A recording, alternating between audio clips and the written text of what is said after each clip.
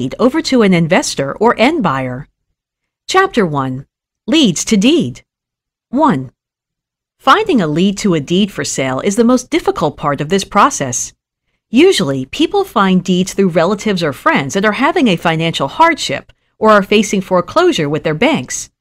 If you don't know of anyone that is in a similar situation, then this will be the most challenging part of the deed flip process. Here are a few strategies you can use to find leads to deeds. First, you can go to myhousegrahamforeclosures.com and become a member to receive all of the detailed information on foreclosure properties in your area. In your search, the most important part is to look for the owner's name and possible contact information like phone number, email, or even a relative or tenant of the owner to discuss buying the property. Strategy number one. The old school way is to knock on the door and tell the owner that you're interested in purchasing the property. Strategy number two. Leave a handwritten letter at the door with your contact information and explaining your interest of buying the property. Make sure you put in all cash. This usually interests the seller because they know you're an investor and you're not going to be waiting on financing because that can be a longer process. Strategy number three. Using social network sites like Instagram, Facebook, or Twitter can be really effective. You can post an ad saying you are willing to pay a finder's fee to anybody that can bring you a person they know that's in foreclosure and wants to sell their property. Everybody is trying to make a dollar, so depending on how much of a finder's fee you're willing to pay, the greater your chances are at finding a lead. Strategy number four. After looking up all the foreclosures on myhousegrahamforeclosures.com, write down all the properties that interest you and create a mailing list with all of the property addresses you would like to buy. Type out a letter explaining your interest in buying the property with all your contact info and mail it to all the properties you have on your list. Locking in the lead. After you found a lead, it's time to start the negotiation process and locking in the deal with the owner. You want to tell them that you're interested in buying the ownership, deed of the property, and with their cooperation, you will negotiate a short payoff settlement with their bank. Title search.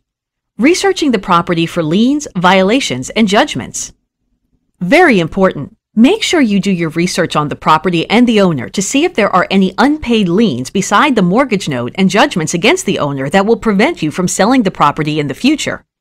You can request this information by doing a title search with a title company. The search will run you from 350 to $550, but it can save you thousands of dollars in the long run.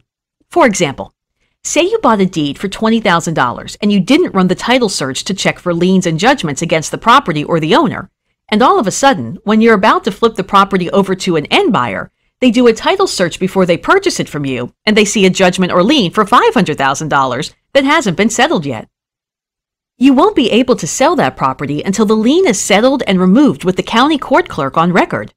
Now you lost $20,000 and are stuck with the property because you failed to do a $500 title search in the beginning. How much should you offer an owner for their deed? Depending on the location, how much the owner owes the bank, and if it's already short sale approved, I will start at a $5,000 up to a $30,000 offer to purchase a deed. After you purchase the deed, you may have to negotiate a settlement with the bank of the previous owner by doing a short sale, because the mortgage that's delinquent is still in their name and on the property as a lien. That means you can't flip that property to an end buyer until all liens are removed or settled. Now you have to get a commitment from the previous owner by having them sign a cooperation agreement to cooperate with the short sale process. What is a short sale? A short sale is a sale of real estate in which the proceeds from selling the property will fall short of the balance of debt secured by liens against the property. The property owner cannot afford to repay the lien's full amounts. The lien holders agree to release their lien on the real estate and accept less than the amount owed on the debt. 1. Any unpaid balance owed to the creditors is known as a deficiency. 2.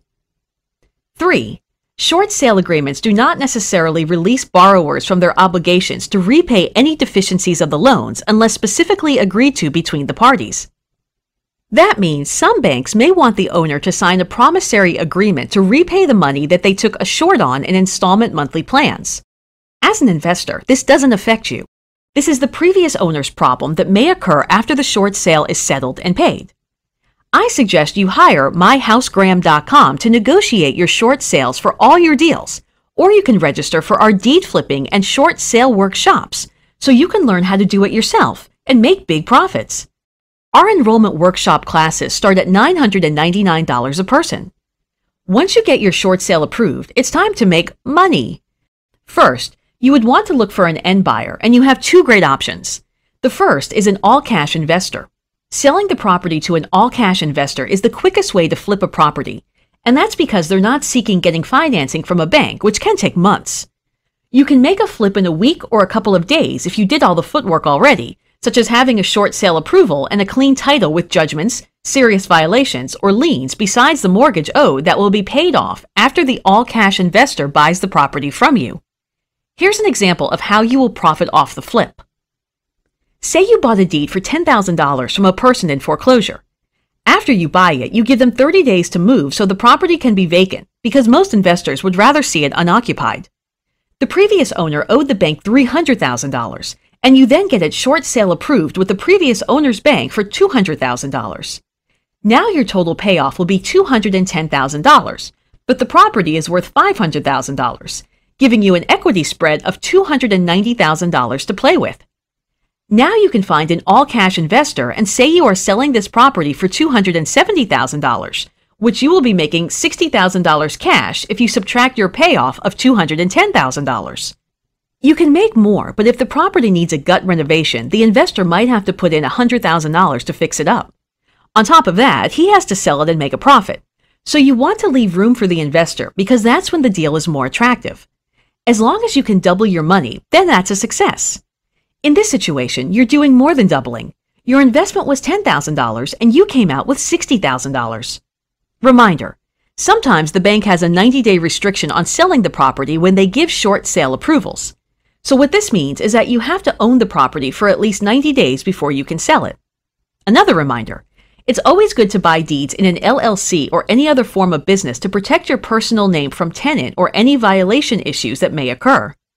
If you need assistance forming a business, please call myhousegram.com at 866 721 1867 or email us at myhousegraham at gmail.com.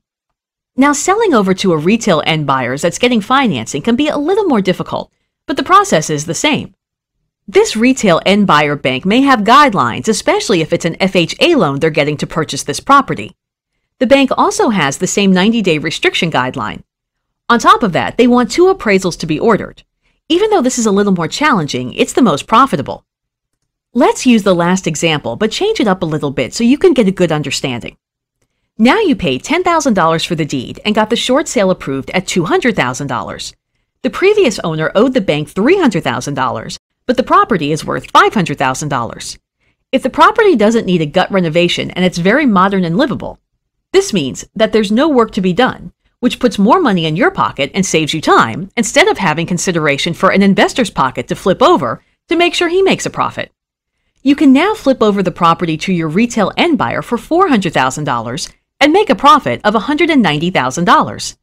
This is after you pay off the $200,000 for the short sale approval and the $10,000 you purchased the deed for.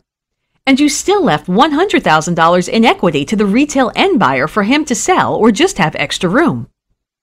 For more information or to enroll in our deed flipping program, contact us at myhousegraham at gmail.com or call 1 800 470 9049.